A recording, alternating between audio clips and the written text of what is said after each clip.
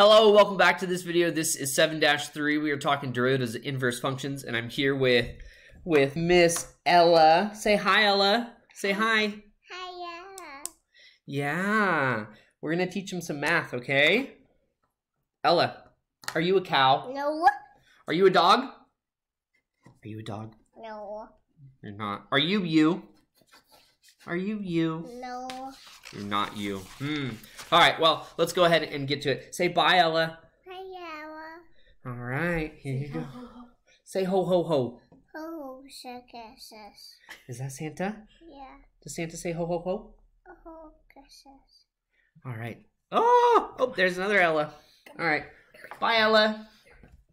Okay. All right. So let's go ahead and uh, let's get to the, the second part of, of this video. All right.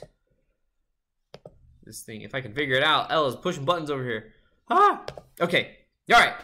So um, if the function f has an inverse function, then f is one to one. And uh, if a function is one to one, then it must be either strictly increasing or strictly decreasing, which we know is monotonic.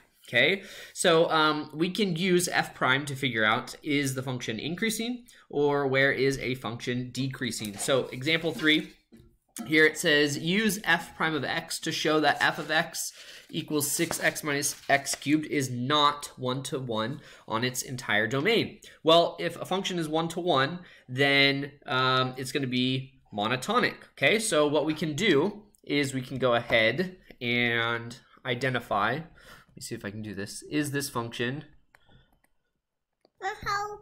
strictly increasing or decreasing? You want to help? Yeah. Yeah. Oh, wow. Pretty. Hold on. Let's erase this. Let's see. Let's see. Okay, so f prime is 6 minus 3 times x squared. Okay, and we're going to set this equal to 0, which means that 6 is equal to 3x squared, which means 2 is equal to x squared, which means x is equal to... Oh, don't write with that pen, babe x equals plus or minus root 2. Man. Ah, okay. So root 2. All right, so we have f prime, and that is negative root 2 and root 2. Okay, so I know that our function, um, we can have possible uh, relative maxes and mins here, and we need to go ahead and identify, okay, um, is it strictly monotonic um, or, or not? So if we analyze this, we get negative, positive, negative, which means that our function is decreasing, and then increasing, and then decreasing.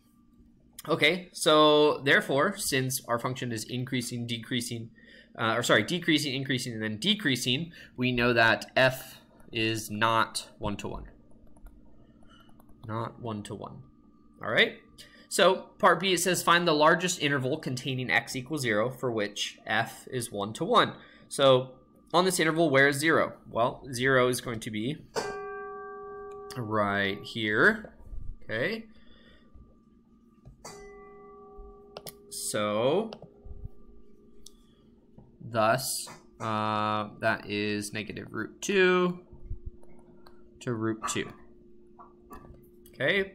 Uh, find the largest interval containing x equals negative 2, for which f has an inverse function. So for it to have an inverse function, it must be monotonic, right, to be to be one-to-one. So um, we have to identify, okay, where's negative 2? Well, negative 2 is over here. So that interval is going to be from negative infinity to negative root 2. Okay, and there you have it. That is it. All right. Uh, thanks for watching, and I hope you enjoyed Ella visiting you. Catch you next time. Peace. Santa.